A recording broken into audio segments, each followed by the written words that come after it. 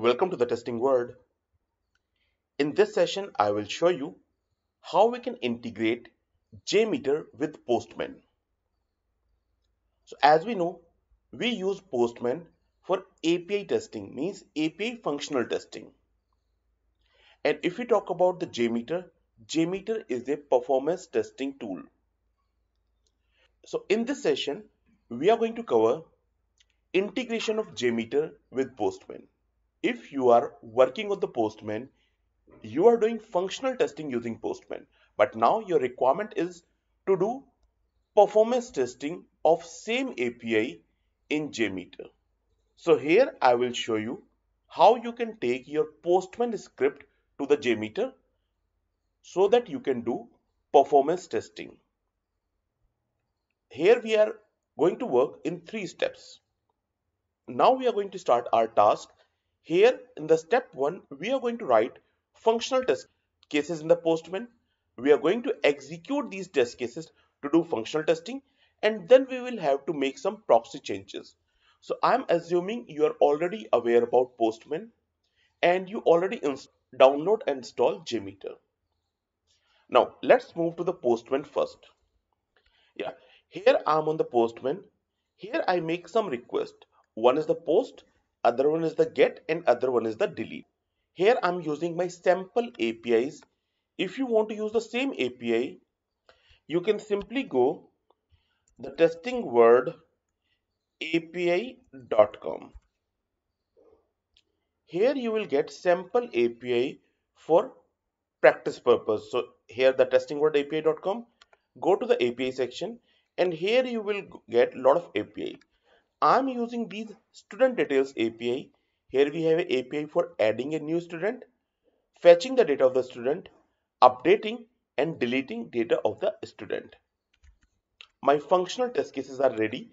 Let me show you. So that's my post request. That's the body of the post request. And as I click on send, it is adding a new student in my application. In the same way, that's the student ID, student ID. I just copy and use it over here. So now I want to fetch details of it. We are getting details means that is a get API. If you want to delete that student, so that's my delete API. I've just entered new student ID sent. Now it is deleted. I want to make sure a student is deleted successfully or not. So I'll simply go to the get and run it again. So that no data found means that is function working fine in functional point of view. Now I want to do the performance testing of same API. One approach is that you will go to the JMeter, you will write script in the JMeter. Other option is that you can take, take this functional test cases to the JMeter directly. Okay, how are we going to do it? For that, we have written some test cases, functional test cases in the Postman, executing it for the functional testing. Now, to first of all, we have to change proxy setting in the Postman. Okay, I'm in the Postman here. When you want to take your script to the JMeter, go to the setting icon and select settings. Here in the proxy, go to second option, add a custom proxy and uncheck this first checkbox. Here you need to give the port and the same port we are going to use in JMeter. So I have given the port 8888. So this is the setting you have to do in Postman. Now as a step 2 we need to start JMeter configure same port in the JMeter and start recording. So I'm assuming you have basic understanding of the JMeter. So here I'm on the JMeter. First of all, I'm creating a thread group that is quite similar to the test case like you are creating a test case. Okay, what is the name you want to give? I'm giving like API performance testing. Now that's my thread group is ready inside the thread group I have added one logic controller with the name recording controller either you can use recording controller or you can use, or you can use simple controller as well So, okay, I use the simple controller name like student management API. Okay. Now you have this controller as well. Now I will go to the test plan and, and we need to start recording here. So simply go to the test plan and add non-test element which is HTTPS test script recorder. That is added. Here the same port we need to give which we have given in the post postman. So I have given 8888. Also, where you want to put your recording. So I want to put my recording in API performance testing test case, which is a thread group, and that's my simple controller. Here on this point, I want to put recorded steps. All the things are done. Just click on start button. Click on OK. Once recording is started, now go to the postman again, run your test cases here. So first I'm running the post request.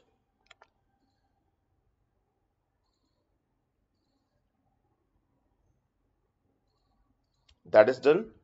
Now I'm running my get request. Now I'm running delete, running this get again so whatever the request you are running here in the postman now will be recorded in the JMeter. Now once all the recording has been done, you can click on the stop button and now your test case is ready here in the JMeter. I'll show you here execution here in the JMeter. Okay, before that I'm just going to the postman again. Once your recording is complete, change the setting to the default. So I'll go to the proxy, use system proxy, remove this checkbox. Because if you don't change it, you will not be able to use Postman anymore. So you will have to take it to the default settings. Now my JMeter test case is ready. You can re remove this script recorder.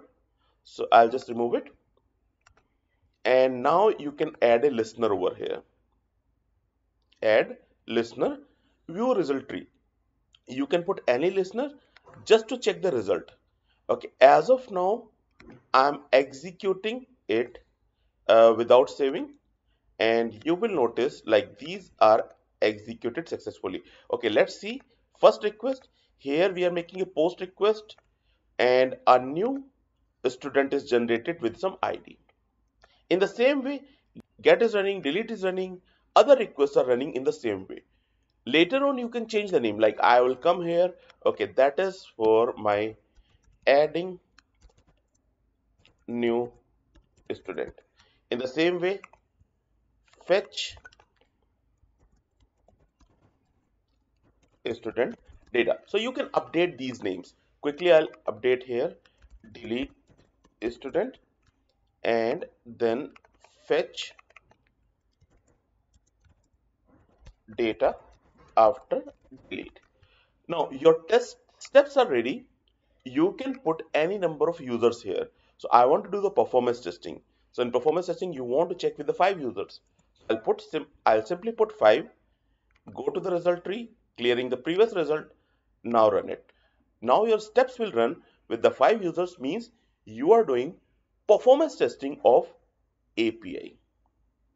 So here we have seen how we can convert our functional test cases from the postman to the JMeter. These are the three steps we have performed.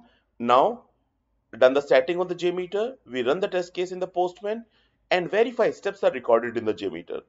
Now we can run these test cases by applying load. So that's all we have about this session. Here at the end, I want to update we are involved in the project support, software testing services, digital marketing services and training services. If you are interested in our services, you can call or WhatsApp us on this number. Also, you can send us email. That's all we have for this session. Thanks for watching this video.